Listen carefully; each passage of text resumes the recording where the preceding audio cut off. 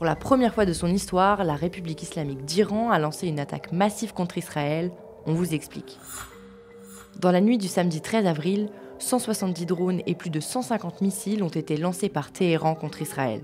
Selon l'armée israélienne, 99% des projectiles ont été stoppés, et notamment grâce à ses alliés internationaux, dont la France. Nous avons fait décoller nos avions et nous avons intercepté ce que nous devions intercepter. Même si Emmanuel Macron a réaffirmé son soutien à Israël, le président veut encore croire à la carte de la diplomatie. Nous avons condamné, nous sommes intervenus et aujourd'hui nous allons tout faire pour éviter l'embrasement, c'est-à-dire l'escalade. Le Premier ministre israélien Benjamin Netanyahou s'est entretenu ce matin avec son cabinet de guerre. Une potentielle contre-attaque d'Israël fait maintenant craindre une nouvelle escalade au Moyen-Orient. Pour en savoir plus, nos analyses et interviews sont à retrouver dès maintenant sur le site de l'Express.